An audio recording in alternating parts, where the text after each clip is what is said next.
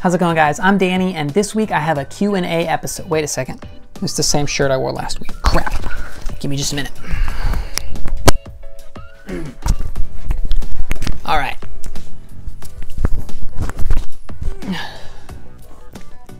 Crap, I haven't done the board either. Not worried about it. Not worried about it. Whatever. Let's go. Let's go. All right. Let's try again. How's it going guys? I'm Danny and this week I have a Q&A episode. The questions here are coming from a thread that I posted on Reddit. I think next time I'll do this I'll post a Facebook thread and some Twitter questions as well. Uh, but this time the questions are just coming from Reddit. So make sure you keep an eye on my Facebook page and my Twitter feed so next time I do one of these you can get your questions answered. Um, if you have any specific questions for me or you'd like a form critique, you can message my athlete page on Facebook and I'll be glad to help you out there. But let's move on to the questions for today. So my first question comes from Full Halter. He says, what are some good drills I can do while doing field work that will make it either more effective or more fun? So field work gets boring. It's fun going out and throwing far, but throwing far will only get you so far. So it's good to make field work practice besides just throwing far. My favorite game to play is trying to land discs on other discs. After warming up, I'll start by throwing my putter as far as I can. And then I'll take my mid-ranges and try and land them on the putter. Then I'll pick the mid-range that went the farthest and try to land my fairways on it. And if I land them on it or pretty close and I have an extra, I'll throw that one as far as I can and try to land my distance drivers on top of it. But that's just one example. You can play lots of different accuracy games. You can try throwing into soccer goals, or if there's lines painted, you can try and land it in different circles. I like to play accuracy games in the field. X John J says, is higher fade only preferred when playing dogleg lefts? If not, what other times are higher fade discs preferred?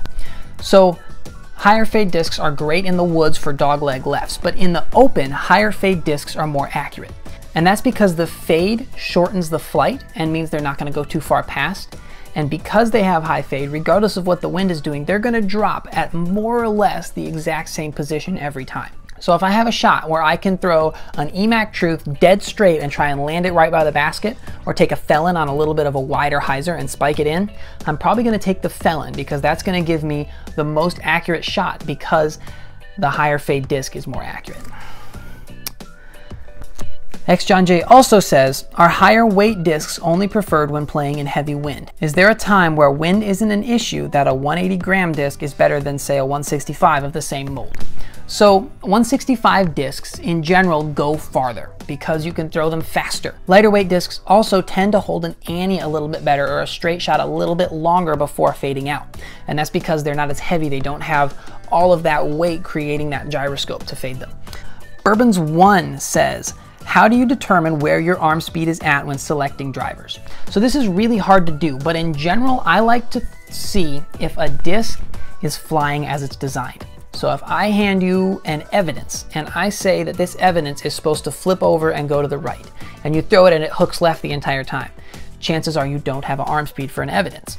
But if you throw the evidence and eventually it starts to go pretty straight and glide a little right, and then eventually it'll flip over too much for you, then I would say your arm speed is graduated past the evidence, which is a mid-range. And you can jump up to a fairway driver like the Escape. Now it's important not to look just at numbers when doing this, but to talk to people about how the discs are designed to fly. And Escape's numbers are very overstable when you compare it to some other discs, but when you actually throw an Escape, you can see that it's very straight or even a little bit understable, whereas the numbers would lead you to believe it's pretty overstable. So um, don't look at numbers, but look at how the discs are designed to fly. The upper deck says, how do you throw an ante forehand without feeling like you're going to hurt yourself? I, I don't know that much about forehand, but I can tell you that you want to keep the disc on the same plane the entire time. So that means all the way coming from your reach back through the shot, through your follow through, you want it to be on that anhyzer angle. So keep the disc up a little bit higher and follow through down, almost like a karate chop towards uh, your left hip.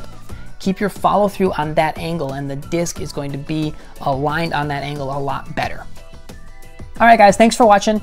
That's all I've got for you this week. Next week, I think I'll have another side-by-side -side form comparison, but that requires me filming Drew when he comes to do a clinic in town this week. Um, the next tournament I'm playing is a B tier in Fairfield Bay, Arkansas. It's called the Full Blown Open, and Matt Lloyd is running it. He drives one of the Dynamic Disc RVs. It's an awesome course. It's two temporary courses. One is really wooded, and the other's on a wide open golf course, and it's a really, really fun tournament. So if you're in the area, I highly suggest coming and checking it out. I'll be there. And I think that's all I have for this week. Until next time, remember slow is smooth and smooth is far.